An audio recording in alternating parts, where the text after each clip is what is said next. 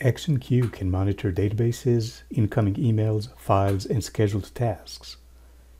It harvests the data from those events and can use that data to trigger dynamic SQL to update databases, send email messages, or call an application and pass command line arguments.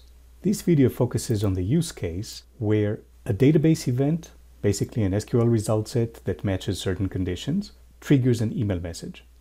To avoid repeat responses for the same database event, we can track an auto increment key in the result set.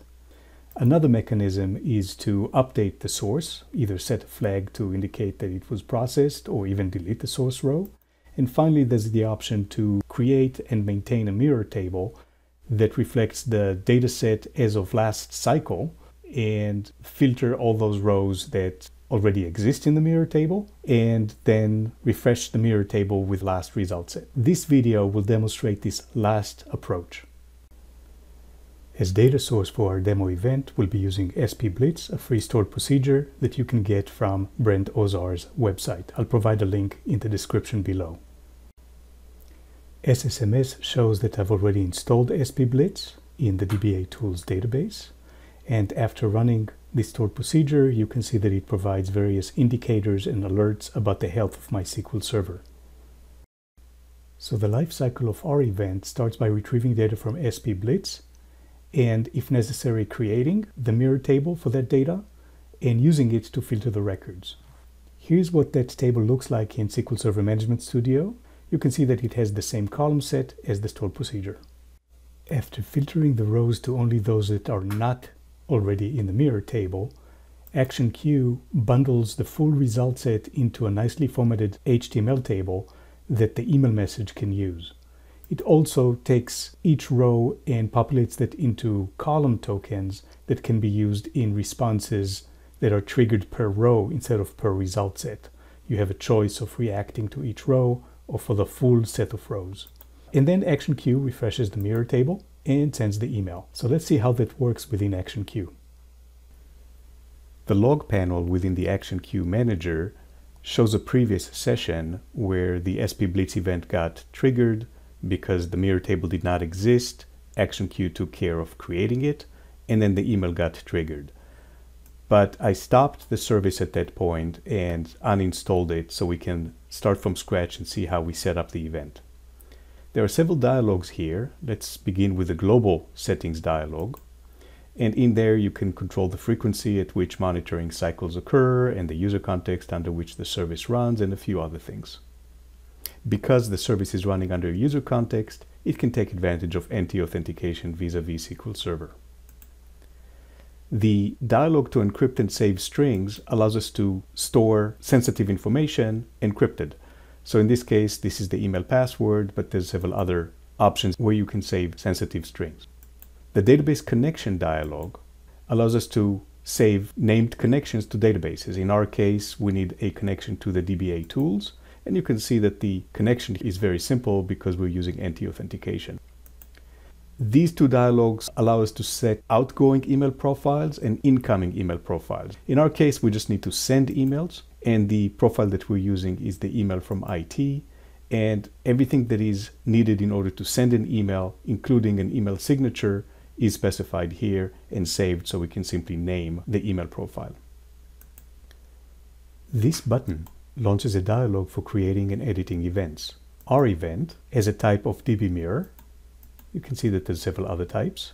And it is set to be monitored once per five cycles and each cycle is about 3 seconds, so about once per 15 seconds.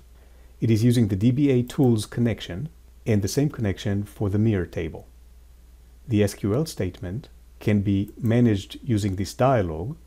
In our case, instead of a simple select statement, we're executing sp_Blitz and passing several arguments to it, and we can test it. Now, once the dataset is returned, these dynamic tokens are going to be populated so that they can be embedded inside responses such as email messages, SQL statements, or arguments passed to executables. In our case, we're just passing one of these tokens to an email message, and specifically we're using the AQ HTML table, which contains a nicely formatted HTML table of all the result set. we're going to trigger only rows that don't exist in the mirror table. So back in SSMS, here is the mirror table, and I'm going to delete it. And later on, we'll see how it gets created on the fly by the service once the service actually runs and triggers the event. So back in ActionQ, let's see the rest of the response here. This event does not respond with SQL and does not respond by calling an executable. It responds only by sending an email. And the email is using this email profile that we've seen before.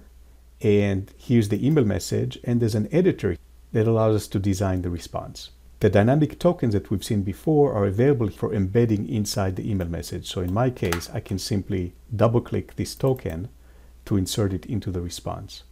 Now, if I click preview, I can see the dynamic value that was embedded inside that token because of the test that we just ran.